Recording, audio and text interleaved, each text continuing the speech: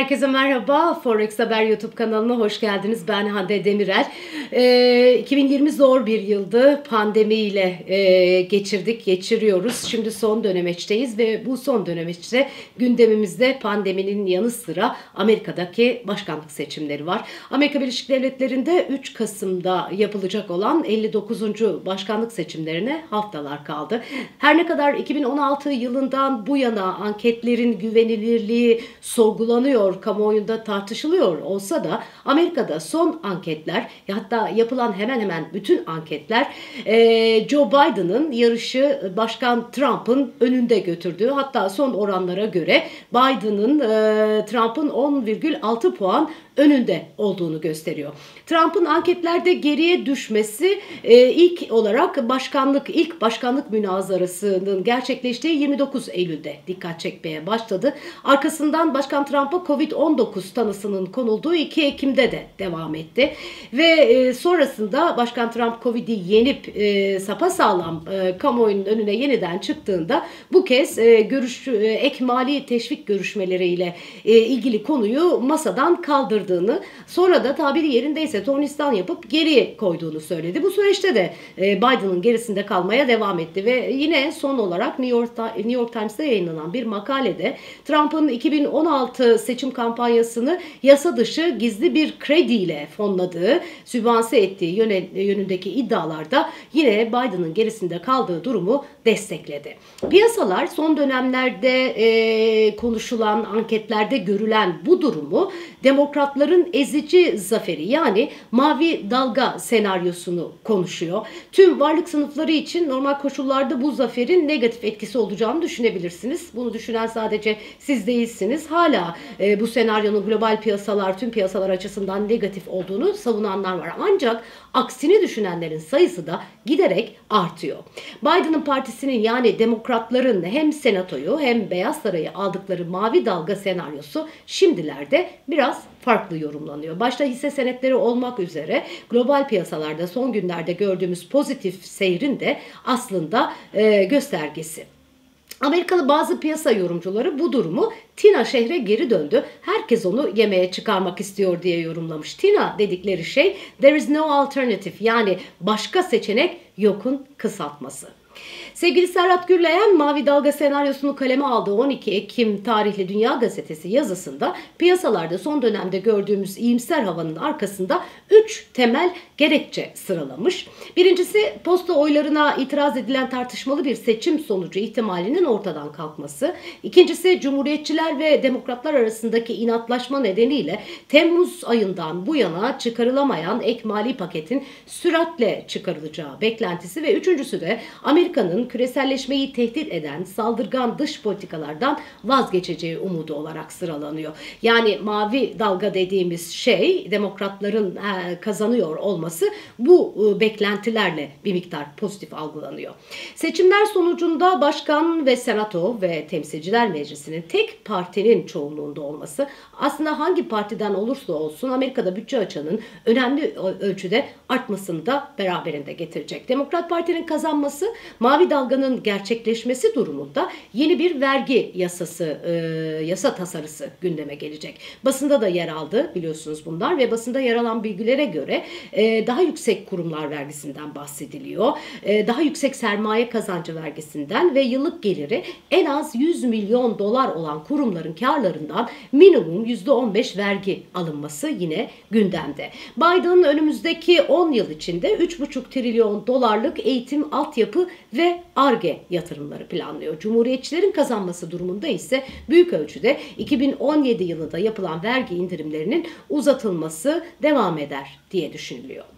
Biden kazandığı takdirde uluslararası piyasalar nasıl etkilenir sorusuna verilen yanıt artacak vergiler kısa vadede olumsuz etki yapsa bile faizlerin sıfır olduğu bir ortamda artan mali teşviklerin, harcamaların hisse senedi piyasalarını destekleyeceği yönünde. Ekonomik büyüme açısından da olumlu olabilecek bu görünümde doların değer kaybetmesine ve riskli varlıkların değer kazanmasına sebep olabilir. İşte böyle düşünülüyor. Bloomberg HT'ye değerlendirmelerde bu bulunan BMO Capital Avrupa FX Strateji Müdürü Stephen Gallo, Kuzey Amerika'da e, konuştuğu birçok yatırımcının mavi dalgayı en olası senaryo olarak gördüklerini söylemiş. Ama buna karşın Amerika dışındaki yatırımcıların anket verilerine şüpheyle e, yaklaştıklarını, bundan ötürü uluslararası yatırımcılar tarafında bir miktar belirsizlik olduğunu söylüyor. Beklenen vergi, düzenleme ve enerji politikaları değişiklikleri nedeniyle olası bir mavi dalgayı Amerikan doları için negatif görüyoruz diye konuşuyor. Doların değer kaybının diğer ekonomilerin yaşadığı ekonomik, mali, büyüme kaynaklı ve ticaretle ilgili zorluklar düşünüldüğünde sınırlı olacağını da ekliyor. Ayrıca şöyle diyor, Kasım ayında seçimi kimin kazandığından bağımsız olarak küresel ekonomik ortamın deflasyon riskine doğru ilerlediğini görme eğilimindeyiz ve bu risklerde genelde Amerikan doları için destekleyici olur. Diğer yandan bir başka e, analist Robobank'in FX strateji direktörü Jane Foley, Cumhuriyetçilerin kazanmasını genelde piyasalara daha olumlu bir etkide o, o, olduğunu e, söylüyor. Fakat bunun normal zamanlarda olduğunu, şu içinde bulunduğumuz zamanların normal zamanlar olmadığını vurguluyor. Diyor ki normal zamanlarda böyle bir galibiyet e, risk iştahını artırır ve güvenli liman olan Amerikan dolarından çıkışı hızlandırırdı. Şimdi ise Trump'ın seçimi kazanması halinde Avrupa gibi bölgelerle artabilecek ticaret gerginlikleri ve mali politika temelli nedenlerle bu pek mümkün görünmüyor. Başkan Trump'ın sonlandırdığı mali teşvik paketi görüşmelerinde cumhuriyetçilerin harcamaları kısmaya çalıştıklarını söyleyen Foley, eğer böyleyse diyor, mavi dalga beraberinde ekonomik büyümeyi körükleyecek ve risk iştahını artıracak daha fazla mali teşvik paketini de getirebilir. Böyle bir ortamda daha zayıf bir Amerikan doları bekleyebiliriz. Yine de bu aşağı yönlü hareket büyük bir mali teşvik e, paketinin parasal genişleme e, ihtiyacı üzerindeki baskıyı sileceği varsayımlarıyla çelişirse sınırlı kalabilir. Yani şöyle özetleyelim. Özetle mavi dola, dalga doları zayıflatacak ama diğer etkileri de hesaba kattığımızda bu zayıflama sınırlı olacak. Peki gelişmekte olan ülkeler bu mavi dalga gerçekleşirse, bu yeni senaryo gerçekleşirse nasıl etkilenir bundan? Şimdi demokrat zaferiyle güçlenen ABD büyümesinin azalan jeopolitik risklerin ve değer kaybetmeye devam eden, eden doların gelişmekte olan ülkeleri destekleyeceği düşünülüyor. Ancak gelişmekte olan ülkeler arasında önemli bir ayrışma da yaşanması e, söz konusu. ABD ve Çin önderliğindeki yükselişe Avrupa ve Çin dışı gelişmekte ülkeler daha sınırlı oranda katılabilirler deniyor. Robobank gelişen piyasalar FX stratejisti Pierre Matthews, Joe Biden seçildiği takdirde gelişen piyasalara sermaye akışının daha hızlı toparlanacağını fakat Türk lirası ve Rus rublesini istisna olarak değerlendirdiğini söylüyor. Başkan Trump, Cumhurbaşkanı Erdoğan ve Başkan Putin'i seviyordu diyen analist, Amerika'nın S-400 satın alımı için Türkiye'ye ve daha önceki seçimlere müdahale ettiği iddiasıyla Rusya'ya yaptırım uygulama ihtimaline dair risklerin Trump'ın kazanamadığı senaryoda artacağını vurguluyor. Gelişen para birimleri Biden'ın zaferinden kazançlı olabilir fakat Türk lirasının ve rublenin üzerindeki satış baskısı 4. çeyrekte ve 2021 yılı başlarında artabilir diye konuşuyor.